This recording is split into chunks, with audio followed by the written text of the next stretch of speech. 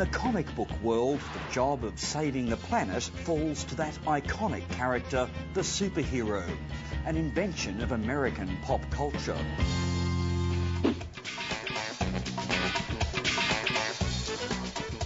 But now a new gang of heroes with roots in the Arab world is here, and their arrival signals the start of a radical new era for comics, fighting evil Islam style.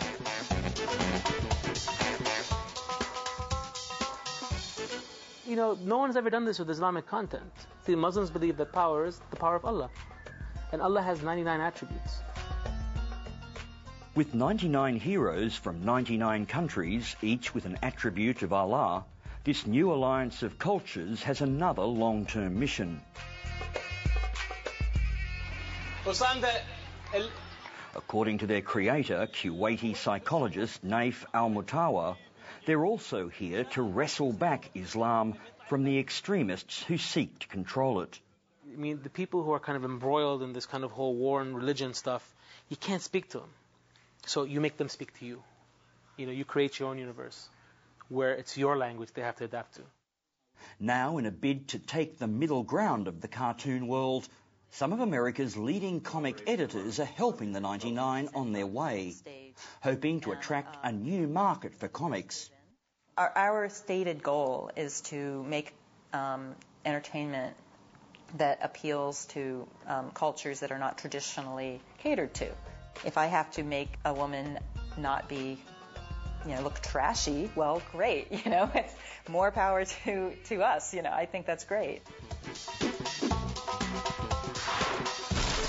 While its heroes are drawn from a variety of religious and cultural backgrounds, the values of Islam are woven throughout.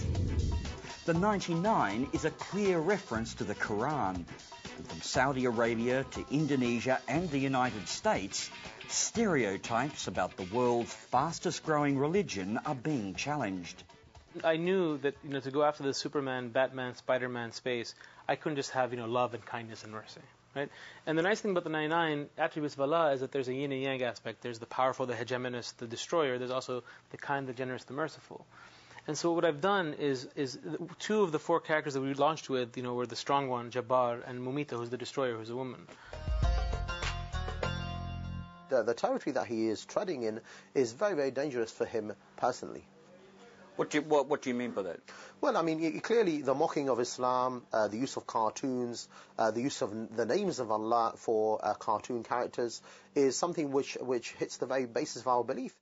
While the 99 are aimed at loosening up Islam's image, in Britain, Anjem Choudary is leading a charge to strictly enforce its fundamentalist values by successfully establishing a system of Sharia courts throughout the UK. This is the territory where the Muslims will never tread because of the complete difference between our culture and the Western culture.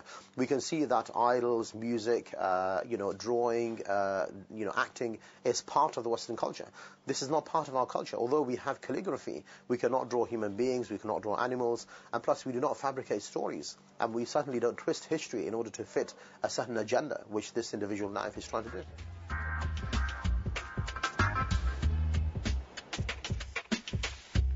In New York, where the 99's production hub has been established, the objections of fundamentalists are being politely brushed aside.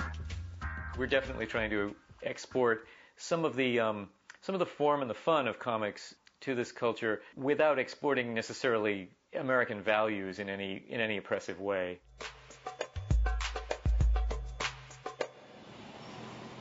Stuart Moore is one of America's most respected comic book writers. He's now using those skills to write narratives for the 99, excited about the potential to bring about widespread Muslim acceptance of a traditionally gritty American genre. I like the idea of reaching out to children in countries that either haven't seen haven't seen comics much before or haven't seen enough people from other from other cultures and just sort of letting them know that other people around the world are like them. Because the whole point of the way the 99's powers work is that individually each of them has a gemstone that allows them to lift things or to project light or to be very strong. But when they really gain their strength and when they're most effective is when they join together in groups of three. Um, and that's part of the whole metaphor for cooperation among, among different cultures. Because I didn't want to be the Kuwaiti who got Kuwaiti investors, set up a Kuwaiti company, and launch a Kuwaiti here. I mean, that's just too cheesy, as the Americans would say. While Naif is proud of breaking the grip of Judeo-Christian superheroes in the cartoon world, he's mindful, he says, of not overplaying the Islamic hand. But we have a Saudi character, Indonesian, French, British, American, uh, we, uh, Iranian, Jordanian, uh, Chinese, but Chinese one has not been used yet. One from Yemen. Um, we have one from Qatar. Uh, we have one from Egypt, one from Turkey. Although it's not an exclusively Islamic cartoon, it does appear to be forging a revolutionary path by rebranding Islam, shunning its often strict fundamentalist image, and repackaging the religion as a kind of pop culture. When you focus on religious behavior, then you start segmenting and you become a market of one. But when you talk about religious values, I mean, when you think about the, the 99 and the 99 attributes of Allah in the Quran, things like generosity and wisdom and mercy, these are human values. And we've been able to do with no budget, you know, what the Ministries of Information of all the Islamic world has spent billions of dollars doing. Not each comic book is deep into archetype. That's the overarching archetype. Um, now, I, you know, every time I get a script where the scene takes place in a bar, I change it to a cafe. You know, Although some have dismissed the cartoon's surging popularity as a commercial stunt, academics aren't so sure. Intrigued by its capacity to affect deep impact on a generation of young Muslims, experts like this group of Fulbright scholars in New York have sought out Al Mutawa to quiz him about the cartoon's characters and storylines. What kind of impact is, you know, this obviously this cross-cultural problem solving is going on here, and what are your goals there? you know, just because, for example, you know, the strong one is from Saudi today, it, he might, that might be the Indian one in two years. So that stone will pass.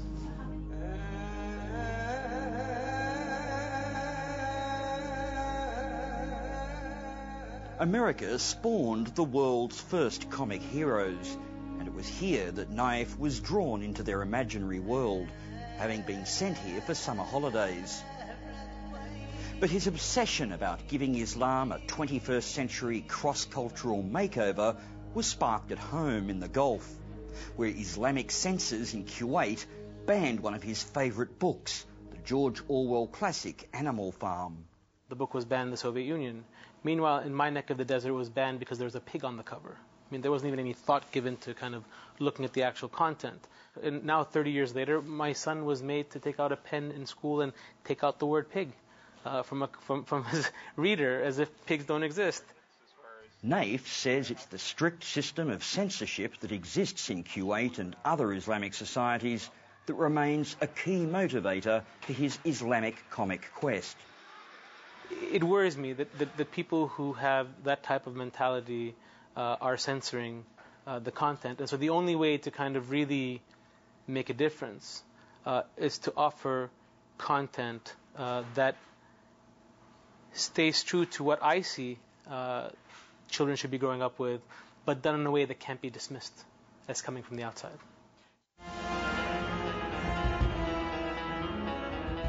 What makes the Islamic Cartoon Project especially unusual is its almost entirely un-Islamic creative team.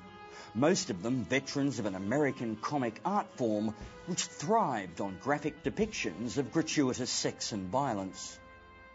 We have to have action. And it is a very fine line between violence and action. And we cross it all the time. And my job is to catch it when that happens. With almost two decades with the cartoon industry giant Marvel Comics, Marie Javins knows the genre backwards. This is the kind of underwear you wear in a coloring book. But as the 99's chief editor, she's facing a brand new set of challenges. It's complicated because really what what you're really looking for is action, not violence. It is a visual medium. Things have to happen. Uh, you know, you have to have a credible threat to the team. And if you don't have a credible threat, you have no story. Abandoning the traditional violence common to Western comics, Marie has turned to actual world events, often natural disasters, as a way of injecting some drama and action into the plot. We have them help rebuild dams in Afghanistan and clean out landmines in Cambodia. Um, I don't know what I'm going to do when I run out of international emergencies, but I assume there'll always be more. Inked and with letters, which I'm currently correcting. You can sort of see where I'm drawing all over it. So this is the initial. As she studies each impending issue with a fine tooth comb, Marie has to look through the glasses of a conservative Islamic censor in order to ensure that there'll be no trouble ahead. This is a copy of a page where I thought that our main character was too curvy.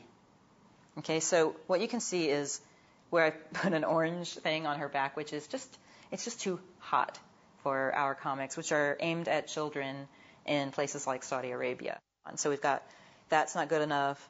We changed it a little bit, and this is the, the final product right here. The attempt to export the comic book genre into the Islamic world appears to be working, with censors in countries like Saudi Arabia granting their approval. Not only is it proving to be a commercial success, but it's already generating scores of related ventures, like this theme park in Kuwait based on the 99's characters, and an animated series by the TV giant that produces Big Brother, Endemol. For Naif, it's an important and historic step he hopes will have a lasting impact. But trouble is brewing fast, and Islam's fundamentalists are now seizing upon the 99 as evidence that its strict Sharia code must be urgently and universally accepted before young Muslims are brainwashed we need to really work hard to implement the Sharia because ultimately it's only by having an Islamic state and having Islamic judges that individuals like this will never be able to propagate what they are doing within society. As fundamentalists press ahead with their hardline world, Naif is content to continue building his imaginary one. And although it presents certain risks to his own safety, he believes that it's far more important than an archaic interpretation of what he still regards as God's word. In the end, this has my name on it. And, you know, I've been the one that's kind of been out there walking that fine line, getting it to where it's at. And it can very easily be taken, and, and, and, and with good intentions, can be taken in directions that, you know, would compromise me or my family. I think the only judge of any of us should be God.